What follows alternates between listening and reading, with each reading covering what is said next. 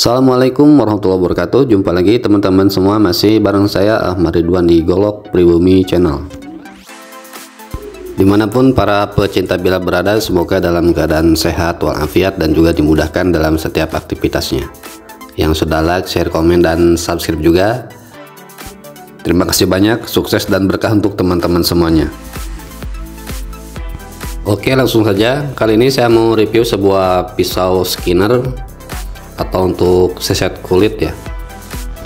Sebenarnya sih bukan buat seset doang tapi buat sembeli kami juga. Kalau sudah tahu teknik penyembelihannya insya Allah ini juga masih bisa digunakan. Kayunya ini dari akasia full dari handle atau gagang sampai ke sarung. Finishingnya sudah di glossy ya. Finishing sarungnya glossy. Serat-serat kayunya juga muncul ya aksesorisnya menggunakan tanduk kerbau. Itu yang warna hitamnya dari tanduk ya. Halus sambungan-sambungannya rapi tidak kasar ya. Sambungan dari handle ke sarungnya juga presisi ya. Bisa dicek. Oke ini dia tampilan bilahnya. Masih ada minyak-minyaknya ya kita coba bersihkan dulu karena uh, salah satu perawatan bilah itu harus dikasih wax ya, ataupun dikasih oli atau dikasih minyak juga bisa ya. Meskipun bahan bilahnya sudah stainless atau sudah tahan terhadap karat, uh, perawatan tetap harus dilakukan ya supaya jauh lebih baik performanya. Oke, ini dia. Untuk spesifikasi bilahnya, ini dari Bohler N695 bukan ekuivalennya ya tapi ori N695 panjangnya dari pangkal ke ujung 14 cm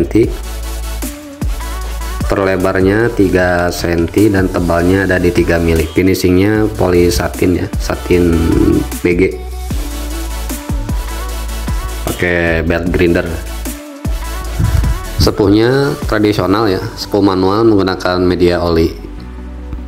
Tentu saja untuk pisau bohler N695 sudah termasuk stainless steel sudah tahan karat kandungan kromiumnya ada di 16 sampai 19% jadi perawatannya sangat mudah.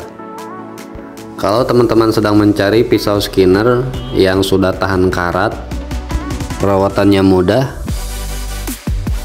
tajamnya juga cukup awet ya. Dan ada nilai seninya mungkin pisau ini bisa jadi salah satu rekomendasi buat teman-teman semua.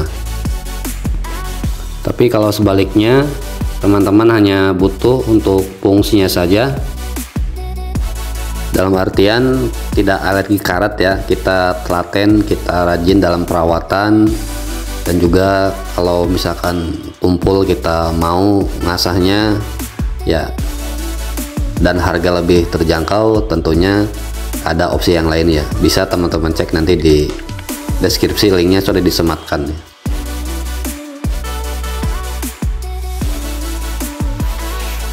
ketajamannya sudah merata dan tentu saja ini sudah siap untuk dipakai ya sudah siap action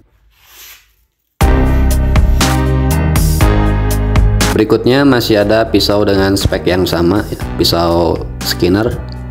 Bedanya hanya dari kayu ya. Untuk yang ini kayunya dari bur jati. Aksesorisnya dari tanduk kerbau ya yang warna hitam.